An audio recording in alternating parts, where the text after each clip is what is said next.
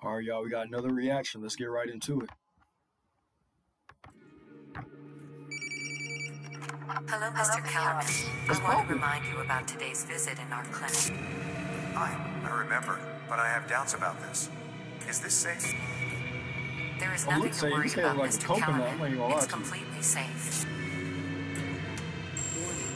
Yo, what's coming out his eyes? Okay, doctor. See you soon. Goodbye. That ain't makeup, is it? Told him stop messing with that with that makeup kit that he got off YouTube sponsors.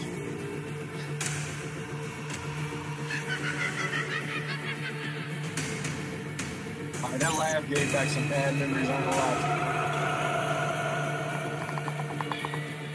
I don't think I like this game. I, I ain't gonna lie to you. I ain't playing this.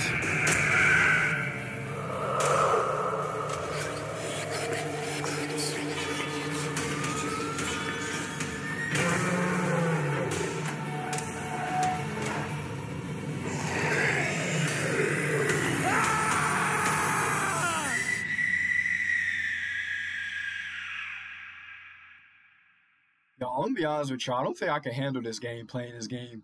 It's not even about yeah, I'll be scared of the little what they got in there, but the the maps just look overwhelming, kind of like because I'm a claustrophobic person. So yeah, that, that they playing that game right there. I, I don't like games like that. I feel like I'm closed in, like I ain't got no space to run or like.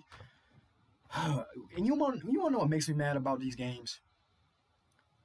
They be having these fast, these little fast enemies that be chasing you, but they make your character run so slow.